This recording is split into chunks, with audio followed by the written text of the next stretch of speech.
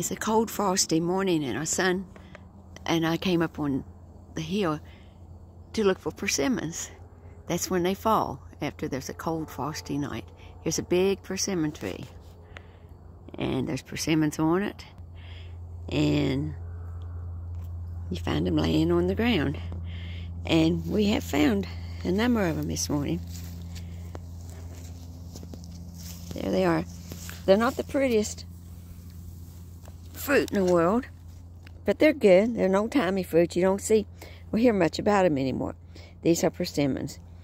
And there may be a couple of them in there that are are not soft, but most of them are good persimmons. And I'm going to take them down to the house and let Charley try them. Hello, everybody. This is Charley from Jackson County, West Virginia. Got something interesting to talk to you about today. Uh, in our area, I guess they're about all over West Virginia, we got this tree called a persimmon tree. They're a tall, straight tree. They get very tall. Some of them maybe 30, 40, 50 feet tall.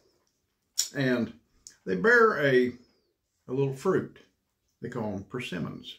They grow on a persimmon tree, just like I said. And these things are, they have a an odd habit about them. These are, okay, these are ripe ones. These two right here are not ripe.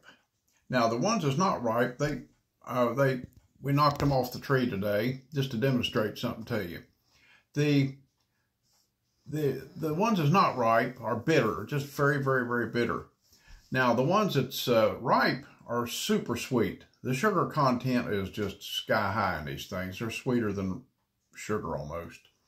And uh, so they get ripe after the first frost hits them. When they get frost, frostbit, the frost in the fall of the year, they become ripe instantly. It's kind of an odd thing that happens. Don't understand, never did understand why, but I'm gonna, I'm gonna taste this. Mmm. Oh, just sweet and delicious.